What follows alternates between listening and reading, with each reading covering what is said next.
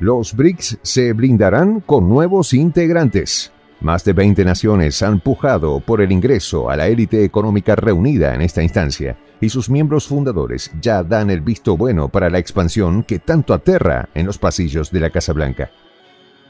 Las potencias de la economía mundial que se reúnen en la cumbre de Johannesburgo, que se desarrolla por estos días, ya avanzan el debate y varios han apuntado a conseguir un consenso sobre los nuevos miembros que expandirán el poder del organismo multilateral. ¿Qué se sabe de esto? Los detalles a continuación.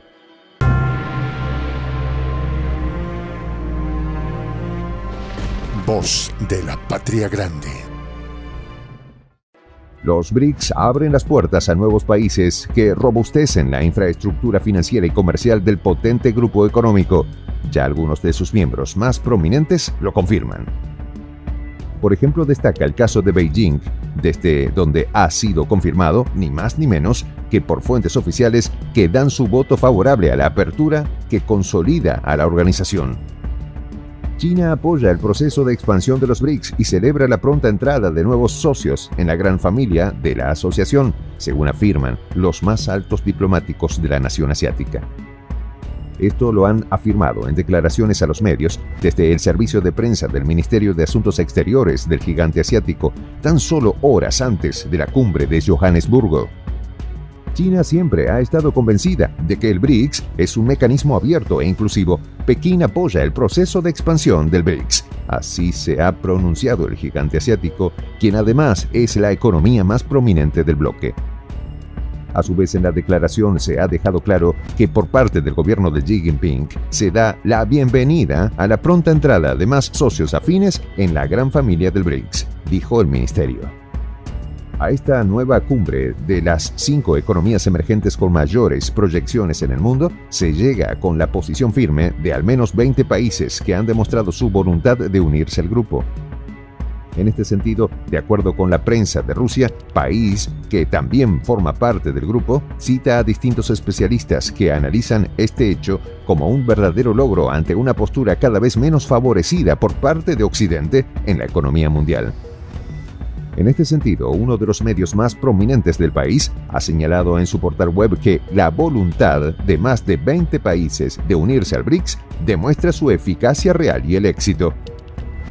En el texto se cita al director del sector de energía y jefe del Departamento de Energía de la Fundación Rusa Instituto de Energía y Finanzas, Alexei Gromov, quien destaca incluso peticiones de economías sudamericanas. Y es que además de fuertes naciones, también se hacen notar naciones que, aunque no pasan un buen momento, tienen gran potencial a largo plazo, como lo son Argentina y Venezuela. En cuanto a las perspectivas inmediatas de expansión del BRICS, el experto considera que países como Irán, Arabia Saudita, Indonesia, Emiratos Árabes Unidos y Egipto. En torno a esto, el funcionario ha señalado, se trata de países con economías relativamente estables y grandes que también se están desarrollando de manera dinámica y que han desarrollado vínculos políticos, financieros y económicos con todos los miembros actuales del BRICS.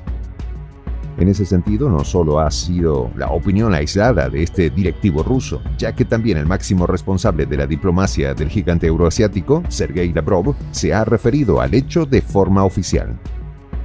De acuerdo con el canciller ruso y hombre fuerte de Putin en el frente internacional, el BRICS lanza un proceso de expansión en aras de la creación de un orden mundial más justo en un mensaje claro a Occidente donde se ha hecho todo por retrasar los efectos de esa cumbre. Además, Lavrov señala, está empezando a formar parte del pasado el dominio ejercido por un país o un grupo de países, precisó los nuevos centros del crecimiento económico y de toma de decisiones de importancia geopolítica en la región euroasiática, Asia-Pacífico, Oriente Próximo, África y América Latina seguían en primer lugar por sus propios intereses y priorizan su soberanía nacional, detalló. Por su parte, el Ministerio de Asuntos Exteriores chino subrayó que Pekín está dispuesto a trabajar con sus socios del BRICS para apoyar la presidencia sudafricana que inicia con este encuentro de alto nivel en la capital del país. También desde Beijing se ha señalado como objetivo organizar conjuntamente diversos eventos en el marco de la asociación, promover el desarrollo cualitativo de la cooperación del BRICS y hacer mayores contribuciones al fortalecimiento de la paz, la estabilidad y la prosperidad en el mundo.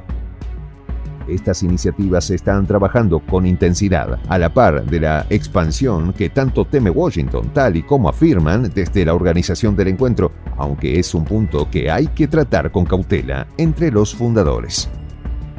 Los jefes de Estado de los BRICS emitieron una declaración sobre la expansión del grupo, ha señalado públicamente el embajador de los BRICS de Sudáfrica, Anil Soklal, en este sentido. Según los datos oficiales, en abril de este año, su participación en la producción económica mundial aumentó del 18% al 26% entre 2010 y 2021. Y aunque aún no están a la par de otras instancias de Occidente, toda la fuerza que acumulan ya empiezan a hacerles frentes. Y es que además, tal y como se ha publicado en el informe de la UNCTAD, tanto la tasa de crecimiento de las expansiones internas BRICS como el nivel de inversiones extranjeras directas en los países BRICS están por encima del promedio mundial. También otros temas, como una moneda única, preocupan en Washington y Europa, pero sin duda una expansión sería un golpe muy duro para la hegemonía occidental. ¿Cuál será el alcance? Está por verse. Soy el J, Juan José del Castillo, director del canal Prensa Alternativa. Si quieres ser parte de la comunidad de la Patria Grande, suscríbete a nuestro canal. Si es que quieres que te lleguen las notificaciones cada vez que subimos un video, activa la campanita. Si quieres apoyar a nuestro canal económicamente, puedes hacerlo a través de PayPal. El enlace está en la descripción del video. A nombre del equipo de prensa alternativa, me despido con esta expresión en el quechua milenario. Tupananchis Kama traducción es hasta volvernos a encontrar.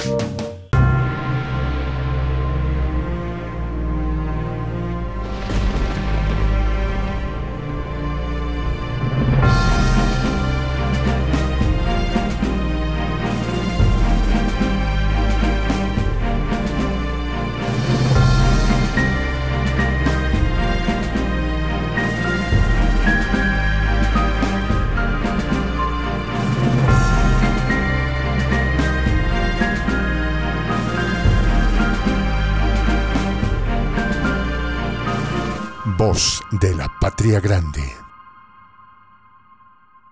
Soy el J, Juan José del Castillo, director del canal Prensa Alternativa. Si quieres ser parte de la comunidad de la Patria Grande, suscríbete a nuestro canal. Si es que quieres que te lleguen las notificaciones cada vez que subimos un video, activa la campanita. Si quieres apoyar a nuestro canal económicamente, puedes hacerlo a través de PayPal. El enlace está en la descripción del video. A nombre del equipo de prensa alternativa, me despido con esta expresión en el quechua milenario. Tupananchis Kama, cuya traducción es hasta volvernos a encontrar.